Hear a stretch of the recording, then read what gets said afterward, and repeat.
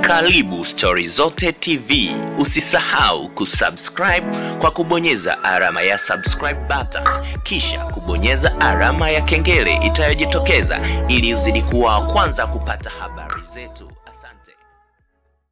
Mashahidi kumi na watano wakitokea upande wa mashtaka wanatarajia kutoa ushahidi wao katika kesi ya uchochezi inayemkabili mbunge wa Kigoma mjini Zitto Kabwe.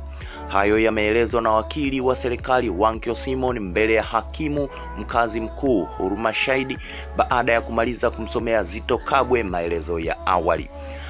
Akisoma maelezo ya awali ya kesi hiyo, Wankyo amedai Oktoba 28 mwaka 2018 mshtakiwa akiwa katika mkutano na waandishi wa habari uliofanyika makao makuu ya ofisi ya chama cha ACT Wazalendo Kijitonyama jijini Dar es Salaam alitoa maene, maneno ya uchochezi yenye kuleta hisia ya hofu na chuki. Amesema kuwa Zito alianza kudai kwa kudai kuwa na nukuu watu ambao walikuwa ni majeruhi katika tukio la mapambano baina ya wananchi na polisi wakiwa wamekwenda kupata matibabu katika kituo cha afya cha Nguluka.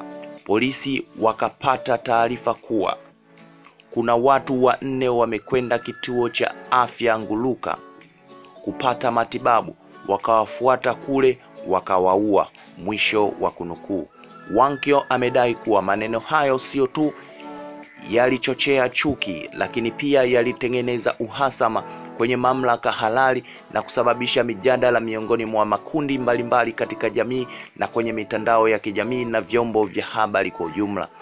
Wankyo amesema Zito alikamatwa Oktoba 30 mwaka huu akiwa nyumbani kwake Masaki, Dar es Salaam na kuwekwa maabusu ya polisi na pia nakala ya taarifa ya vyombo vya habari polisi walichukua baada ya kuwa Zito Kabwe amekamatwa.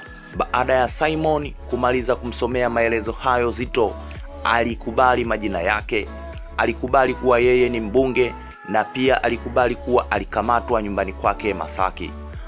Hata hivyo, alikataa kuwa yeye si mwenyekiti wa ACT Wazalendo na nakala ya taarifa hiyo haikukutwa nyumbani kwake wakati anakamatwa.